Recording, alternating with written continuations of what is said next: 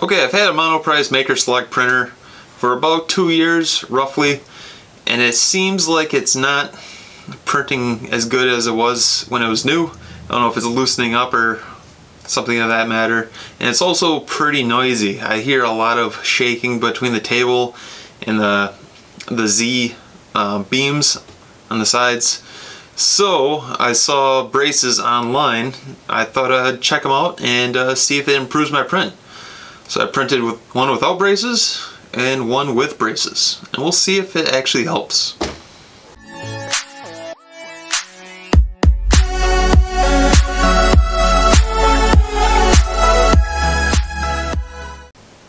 So I got this kit off of Amazon, but they also make a uh, print file where you can make your own um, kit to add braces to your printer and those are on Thingiverse. I'll put a link down below. But I'll also put a link to the already made braces that you can get off of Amazon. But when I got it in, I uh, opened up the package.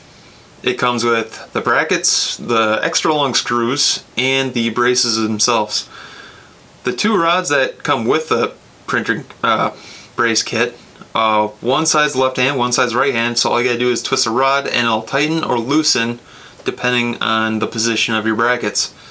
Now to install the brackets, you'll have to remove the screws on the bottom front plate and the top plate.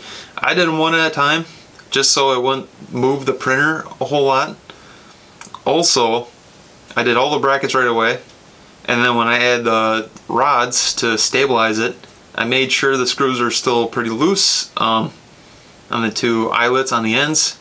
Uh, tightened it down, and then I tightened the jam nut on the ends to make sure the rods are fully stable and secure.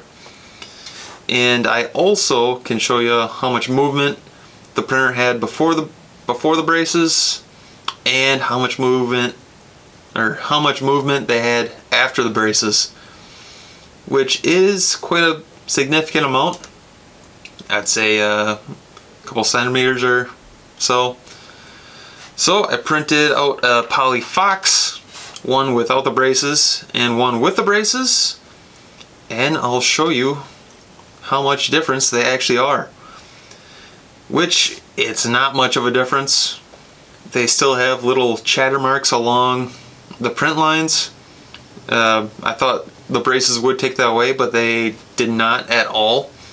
There's only one way I could tell these apart is that on the Poly Fox one without braces actually has a little damaged chin and a couple little chatter marks are less visible. Now the one with the braces, uh, the chin's fully intact. Uh, chatter marks are a little bit less, but not a whole lot. Maybe like 5, 10, 5 to 10%, maybe less. Not a whole lot of difference. What I did see in difference was the sound the printer made. Uh, the printer made a whole lot of sound. I can hear the machine almost like it's flexing back and forth as the table moves. But with the braces, it actually quiets it down uh, to a tolerable level, maybe like three times quieter, which is quite a bit of improvement.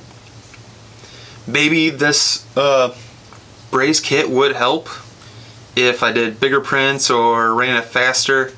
I did not test it running faster, only did like a small piece, something quick. Um, I did have it fairly high in the speeds but as you can see it's not much different.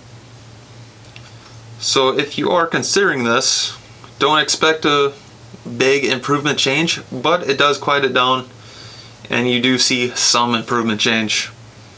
So if you're interested in one of these I do have a link below and uh, you can grab one there. Otherwise uh, follow me on YouTube. Much appreciated.